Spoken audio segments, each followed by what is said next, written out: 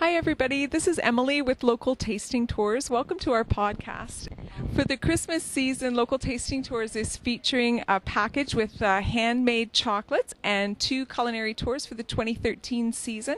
You can find it Uncommon Grounds on South Park Street. It's an exciting podcast today. We're at the Halifax Seaport Farmers Market and we're at the Maritime Cornish Pasty stand with the owner, co owner of Maritime Pasty Company, Lia Jones. I'm really excited to taste your special Nellie Mott's ginger wine today, as well as one of your uh, most popular pasties. Lee, I know you have a lot of loyal clientele here at the market who love your pasties. It's a, a family run business and it's following an English tradition, is that right? That's correct. And we love it and we love Cornish pasties and we love our customers.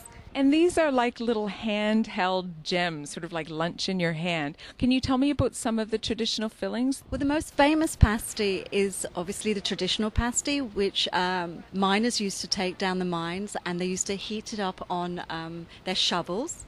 And then they'd eat their pasty, and when they finished, they would throw away the bit they've been holding, which is the hand crimp that we do when you come to the market. You'll see that. And that had arsenic on it. So they would throw that away and they would have at the middle. I'm also excited that we get to taste your Nellie Mott's ginger wine today, and uh, I've heard the fun story behind this. This is a definite family tradition. This uh, ginger wine was uh, made by my husband. His foster mother was called Nellie Mott, so we named it after her because she used to make it every Christmas in the house, and he used to help her. So he started to try and recreate that taste, and so we make it from freshly juiced organic ginger. And your special eggnog recipe that you're featuring this Christmas, it features some of the other market vendors, is that right? Yes, it's a mixture of Fox Hills milk, their eggnog gelato, our ginger wine, and of course Ironworks rum which gives it that extra kick. Our guests today are Shelagh Duffett and Joel Sullivan, two artists who operate at the Seaport Farmers Market weekly. And right now it's exciting because over the holidays they've got a special art exhibit at the Nova Scotia Archives at uh, University in Robie. Shelagh, can you tell me a little bit about the the art that you sell at the market and that you're exhibiting in the show? Would you call it folk art? Uh, some people call it folk art. I'm not sure what to call it. I've it's been called illustrative art before, and uh, some aspects of it could be considered fine art. Uh, really, it's it's however you perceive it. It does have bright colors and cheerful themes and um, a simple. Uh, sensibility to it. It's very primitive in some ways. And Joel, is it true that you use recycled materials for your artwork? Um, I do occasionally use recycled materials. I don't like to call it recycled material art because sometimes if I don't have any material, I'll just buy it. When I think of your work, I just think of these large metal figures. What are some of the the subjects that you've used? Uh, I like to use the human anatomy as a subject. I'm I'm it's kind of my favorite. I do a lot of scrap sculptures, and I usually do a lot of um, faces and heads and arms, robots. And there are a couple other artists featured at the Quattro Art Show. The other artists are Dana Scarola and Laurie McDonald. And Laurie is a, a woodworker and she does amazing things with wood. She she finds things in it that uh, most people probably wouldn't see. She's taking it to a whole different level, but keeping it really natural. And uh, Dana does, uh, I suppose you'd call it surf art. Her work is connected to the ocean and uh, seascapes, landscapes. Um, but what's interesting about this show is that the four of us have completely different styles, but they work together really well. Somehow it all comes together and makes for quite an exciting and interesting show. And the feedback has been terrific. Uh, it's world class, I'd say. I've heard that tossed around a few times, so I'd encourage people to come out and see it, see what's uh, in uh, their own backyard. And I understand that Quattro is going to be up until uh, December 31st, so uh, it's a, it's a really neat opportunity for people to find some really unique art um, right here in Halifax. And people on Saturdays can find both you and Joel right here at the Seaport Market. We're having a little taste of the Nellie Mott's wine. I love this. I just picture really enjoying this with a good steak dinner. Like it has some body to it, and I think there's a little cayenne in the rest. There is cayenne, and that gives it that extra kick. Shelagh, you've tried this before, have you? Oh, yeah, it's absolutely delicious. It's really good mixed with um, alcohol.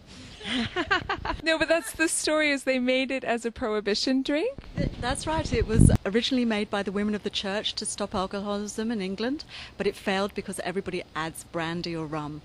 And it does taste really nice heated up with that as well. These pasties are so filling. They really make for a perfect lunch. They keep these warm at the market. But uh, can you take them home? We freshly bake throughout the day at the market, and you can buy them frozen from us and actually bake them at the house. I really get the aroma. This is the cheese and bacon pasty, and you can really smell the onion. The bacon is from uh, Meadowbrook Farm, and they actually feed um, their piggies um, flaxseed. So you're getting omega 3s, omega 6s, and omega 9 in a really weird way. Okay, Joel, I can tell you're enjoying this. I like the potato. You've- Is it potato? You can taste some potato in there. Yeah, yeah, yeah, and it's very scrumptious. Very, uh, yeah, that's a good word for it. Scrumptious. What was your take on it, Shelagh? Um, rich and delicious and crunchy and luscious and they're they're awesome. Absolutely delicious. I love the steak and Stilton too. It's just they've all got such a buttery. The foodies love the steak and Stilton. Joel, uh, can you think of a favorite food from your uh, your childhood? Sloppy Joes. Did your mom make those? Yeah, it was a pretty easy make. We had five kids, so it was a quick make, and uh, just loved it. Peanut butter and grape jelly sandwiches on white bread. That's so old school. It is. It, there's yummy. There's a reason for that. uh, now we every Saturday morning I'd have we'd have that and watch uh, cartoons. Lia, do you have a favorite locally owned business in town? Um, rusty hinges in the Hydrostone. I just love their furniture. And Sandra, uh, who owns it, designed our um, booth. And it's all made from reclaimed wood. Yeah, there's some wonderful. There's lots of birdhouses up there too. birdhouses, but there's lots of beautiful tables, and you can get things designed to to what you require. For example, this booth, our sign, that's an old door, and they've made uh, a chalkboard out of that with those big heavy chains. It just looks so rustic and lovely. At the Ikebana shop on Quinpool Road. It's a, it's a little Japanese store, and they've got all kinds of interesting. It's a gift shop, and they they give the Ikebana flower arranging classes upstairs, and inside it, it's like stepping into a different culture, and and they've got such interesting items, gift items, small handcrafted things, and. Yeah, it's a wonderful store. A lot of people don't know it exists. It's just tucked away on the um, north side of the street. Um, Joel, how can people find you online? People can find me on Facebook. Um, they can find my website. JoelSullivan.com. Yeah, that's right. And the Facebook is. Iron Designs.